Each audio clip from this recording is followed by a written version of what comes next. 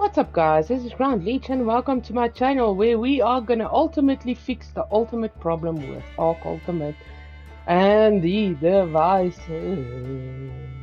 So first of all we're gonna go into settings into our device, then we are gonna scroll to developer options, four times four times MSA is what you enable, then on graphic drivers, Ark, you enable that guys.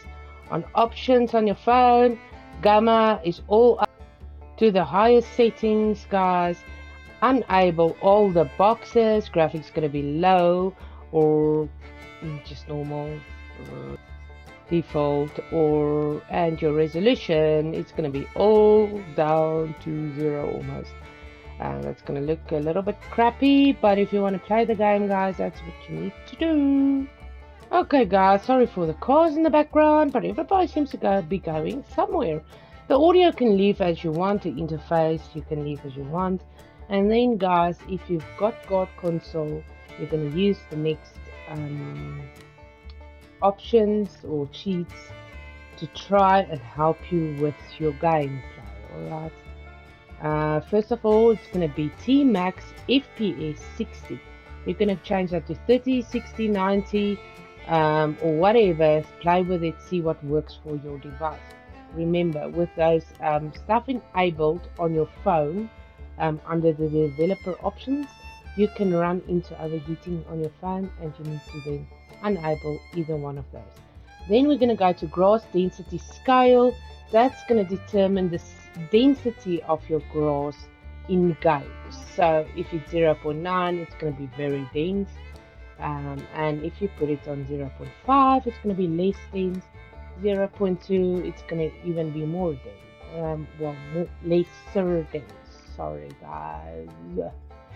Alright so there's not a lot of grass to mow. That's what little Joe told me long ago.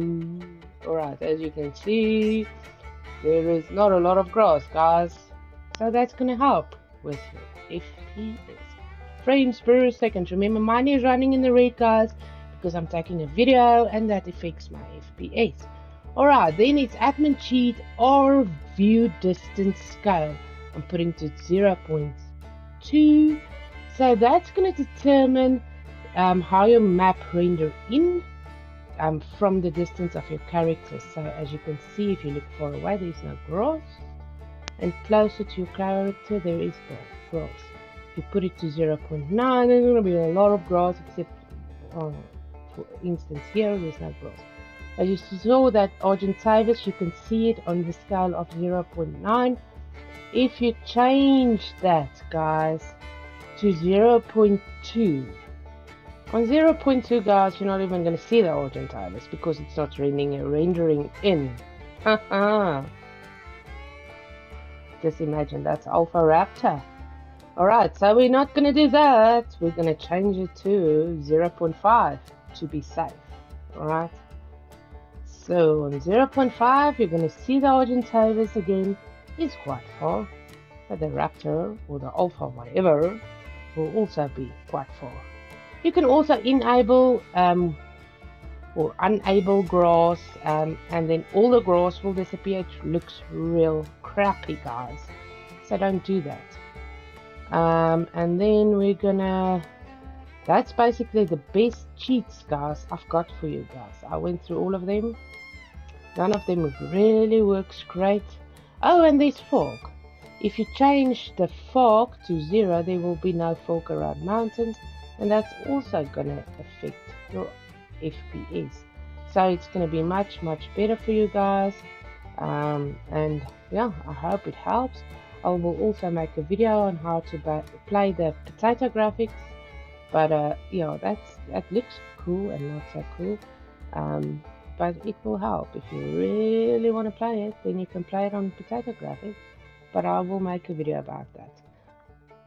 And remember guys you'll have to enable all of these cheats again if you log into your game every time Alright, thanks for watching guys. Remember to subscribe, like and share. This is Grant Bye bye.